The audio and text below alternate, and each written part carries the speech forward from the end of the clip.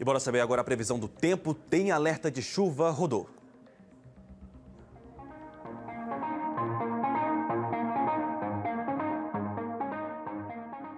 Está com esse aviso laranja de chuva intensa. A gente tem chance de pancadas de chuva, a gente está com um tempo muito abafado e com o incremento da umidade, a gente tem as pancadas de chuvas que localmente pode ser forte. Então, por isso, a gente é, colocou esse aviso laranja, que é de chuvas que pode até alcançar os 100 milímetros.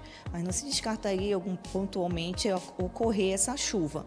É, a gente está com essa chuva aí que tem chance de ocorrer hoje e amanhã e ao longo da semana também. Não se descarta aí essas pancadas de chuva que podem vir acompanhadas de raios, rajadas de vento. Então, por isso, a semana também deve ainda ter esse aviso ou laranja ou amarelo.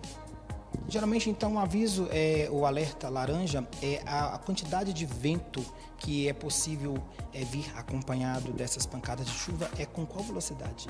Entre 40, 50, 60 km por hora.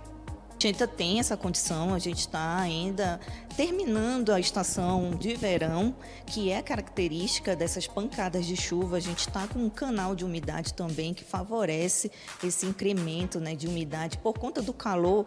Então, tem então as chances da, das instabilidades ganharem mais força e ocorrer essas chuvas mais intensas aqui no DF.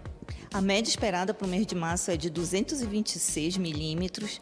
Nós já, já estamos com um acumulado aqui na estação do Sudoeste de 41 milímetros até hoje. A gente já tem esse acumulado de 41 milímetros. E a maior estação que já acumulou foi Braslândia, que já está com 90 milímetros.